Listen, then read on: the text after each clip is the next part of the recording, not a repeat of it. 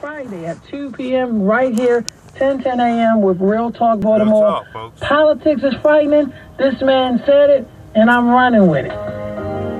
That's supposed to be Cuba Gooding. Uh, Yeah, that's okay. We can do that around here too. Live. 10, 9, 7, 8. We're going to definitely 443 570 9064. Don't forget, you see a homeless person, see someone in need of stress, pull them in. Give them a ride. 2526 North Charles Street. Blankets, towels, toothpaste, toothbrush. Bring it past because we are housing the homeless, Baltimore City. I think we got that hit right. No, no, no. I'm going to sing it. Well, let's have this out.